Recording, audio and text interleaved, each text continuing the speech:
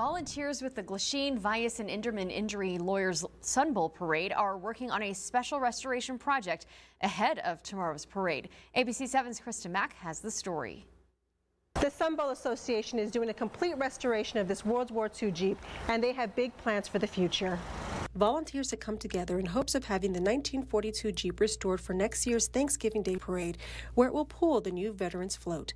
The Sun Bowl Association says volunteers are excited to work on this project. It's just another one of those things that we can be proud of, that it represents not just one person or a group of people, but generations of people. Restoring the Jeep to its former glory has already taken volunteers more than 1,000 work hours with more to go, a labor of dedication and honor. Every veteran that comes in here and sees this project, they get choked up because it, represents the special time in U.S. history that we all had to come together as a nation. The project made possible in part by Robert Jeske, an Army veteran and longtime volunteer who donated $6,000 towards the restoration. I spend a lot of time in here with, the, with like-minded folks that like to just get down and go to work. A project everyone agrees is important. You think of that era was community before self, country before self, and that's what brings it back, and that's what makes it really special. Krista Mack, ABC 7.